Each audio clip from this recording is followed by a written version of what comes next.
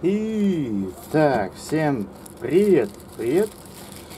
Э, делаю, значит, обзор на наушники такой себе. Пришли мне, короче, наушники из Китая. Вот такие вот.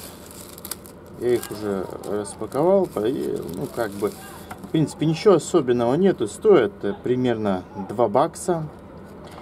Вот, есть они с гарнитуркой, с вот такой вот э, кнопочка там, короче, типа, типа, типа Lenovo. Китайцы подделывают на китайцев. Круто. Очень круто. Вот, несмотря на то, что наушники очень дешевые, качество исполнения, конечно же, у них, ну, оставляет желать лучшего. Не очень. Я бы сказал, даже фуфловое, видите, поцарапанное, все такое, пошарпанное. В общем, качество нефти. Сразу видно, что тянет такой очень-очень сильной дешевизной. Просто невероятной. Прям даже вот настолько они дешевые, что даже не стали обрезать вот эти вот э, штуки, когда отливают, да вместе с проводами дожимают там этот самый, то есть, ну вообще. Вот. И еще вот такая вот херня есть, короче, на них. Видите?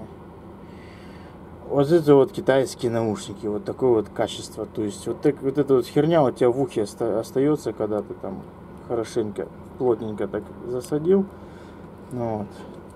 Это вроде нормально, не вытаскивается, да. А это, конечно, брак первый заказ и тут же брак.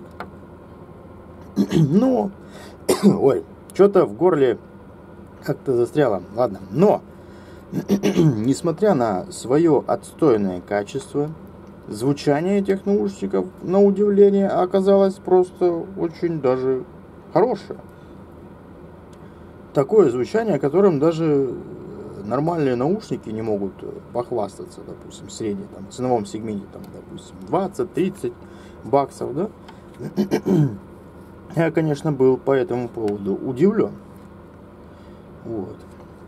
Так что звучание, конечно, просто перечеркивает все минусы. Вот. Э, ссылочку я, правда, на эти наушники оставлять не буду в описании.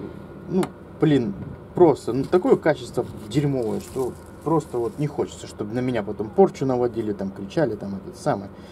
То есть решать вам, заказывать с Китая наушники или не заказывать. Единственное, что я скажу, э, стрёмно очень заказывать наушники из Китая, потому что может прийти наушник, вот, а он вам не подходит.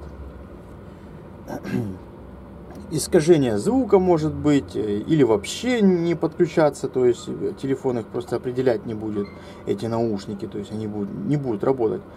Вот это вот, конечно, очень большая проблема. Поэтому, если хотите купить китайские наушники, идите к себе в городе на рынок и там покупайте. Там у вас есть возможность проверить, работают наушники или нет, пощупать, посмотреть качество, звучание послушать.